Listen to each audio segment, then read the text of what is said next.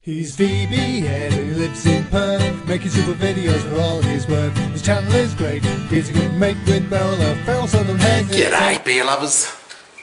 Yeah, Joe Roll, mate, again here. VB Ed. Ah. G'day, beer lovers. GMOs, genetically modified crops. What do you know about them? Well, up till now, I haven't really uh, delved much into it. I just see food as food. You know, food consists of calcium, potassium, starch.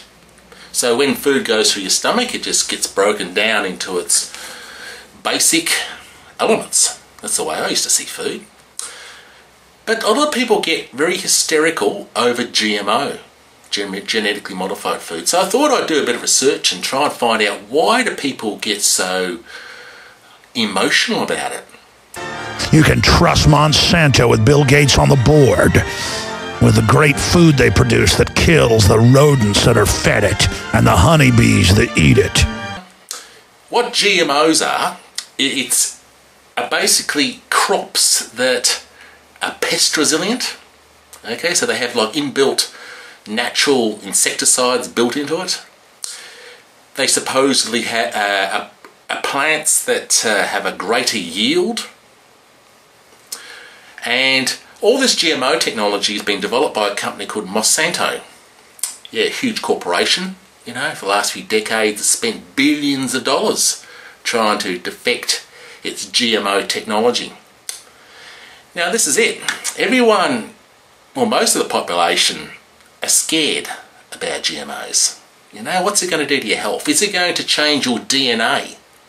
You know, with all the uh, natural insecticides that are built into the food, you know, you can't wash it out. You can't clean it out before eating. So what's that going to do to you? So there's all this fear. But then, if, you, if you're a scientist, you look at GMOs and you think, well, isn't this the way to go? You know, if you can develop salmon that is twice as big as normal salmon, if you can um, create a, a banana that tastes like a strawberry, you know, that's all pure science. Is this the way we need to go? Like the population of the world is about 8 billion, you know, and they reckon by the end of this century it could be 50 billion. Now there's more and more land all the time that's being degraded, you know, less and less fertile land, uh, more droughts. So food is going to become very scarce in the future. So maybe we need science to be able to give us the answers. You know, if you can get um, bigger cows, bigger pigs, you know, maybe that might be the way to go. A lot of people reckon that GMOs give them allergies or I take their word for it because I'm only researching the subject now. I don't, uh, I've got no firm views either way. I can sort of see the fear. Yeah, yeah. Is it is the GMO food going to hurt us, harm us? But you know, if it's not, why not? Now, this is where Monsanto is going to get unstuck. Countries all over the world want compulsory labelling of food. They want to know if they're eating GMO food. Now, if food is labelled GMO, are you going to eat it? Most people won't. That's it. They and they would rather pay a few more dollars to buy the real stuff.